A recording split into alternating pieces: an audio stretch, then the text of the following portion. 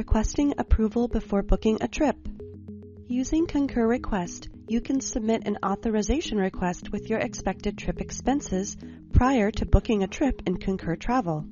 In the following example, you will see how to submit a travel request for your airfare, hotel, and car rental before booking an upcoming trip from Dallas, Texas to Seattle, Washington for client training. To begin requesting approval from the SAP Concur homepage, place your mouse pointer over New and then select Start a Request.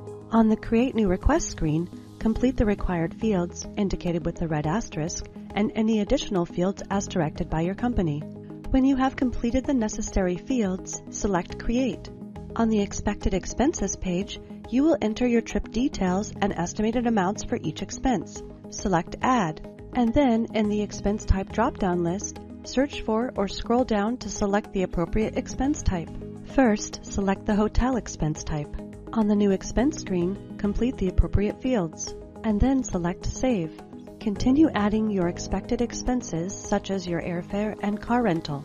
Once you have completed your expected expenses, you can attach documents for your approver's review. For this example, you will see how to attach a car rental price list. Select the Attachments drop-down menu, and then select Attach Documents.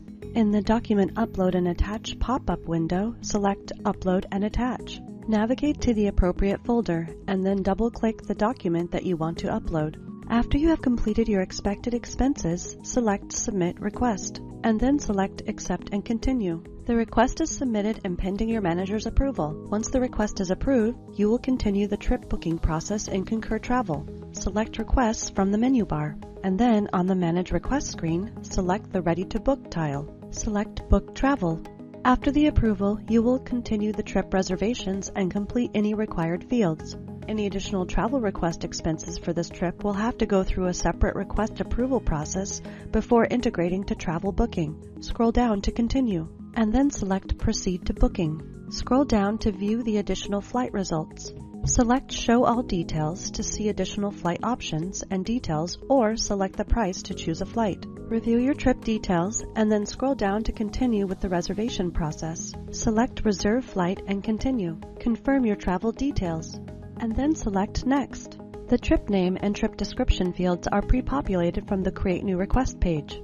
Select Next to continue with your reservation. The trip summary displays with your trip details.